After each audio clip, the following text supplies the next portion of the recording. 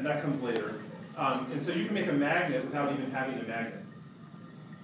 Because uh, you can have just a piece of metal with electrons moving through it, that is an electric current. That's an electric current up there, it generates a magnetic field. Here is a piece of metal that is magnetic when it's in the presence of a magnetic field. And here's a monkey next to it. Let me uh, make sure that I turn on the electric current. Current's on.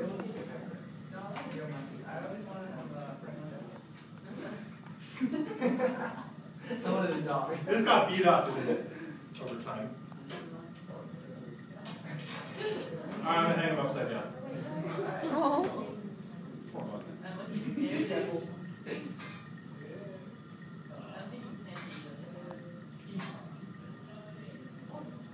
Okay? So he's just magnetically attached. Now, what'll happen is if I turn off the power, or if I break the electric circuit, the monkey will fall. So here I have a gun, it's a blowgun, there's a metal slug in it, and when I blow in, the slug flies out, it knocks this paper clip out of the way, breaking the electric circuit. So the whole electric circuit is sort of contingent on that paper clip. What that means is when the bullet comes out of the gun, the monkey drops at exactly the same time. Now, why would I set that up? So the monkey thinks he's clever, right? The gun is pointed right at me.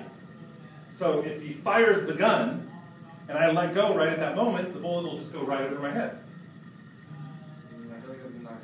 Right?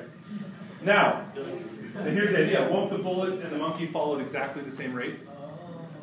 They'll both accelerate towards the ground at 10, 9.8, 10 meters per second squared. So it's a terrible idea. In fact, what you should probably do is just stay there and let the bullet go underneath him, because bullets fall just like everything else. Now, in the amount of time it takes the bullet to get from here to here, it doesn't fall that much.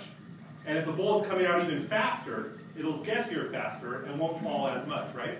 So with a real gun, the monkey should probably not stay there, because the bullet is not going to fall much in that short amount of time, right?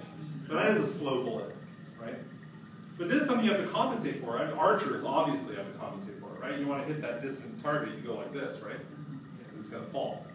Um, with guns, you can be a little sloppier about it.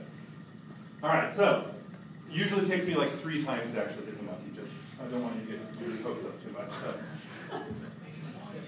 Oh, we got it. Yeah, hold on, just one second, one second.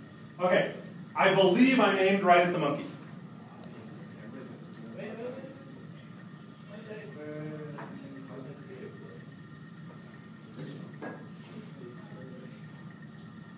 I don't know if I'm going to hit the button. Ready? I'll do it again. Well, if I hit it, I'm not doing it again. It's time to go out on it. Yeah! That was very.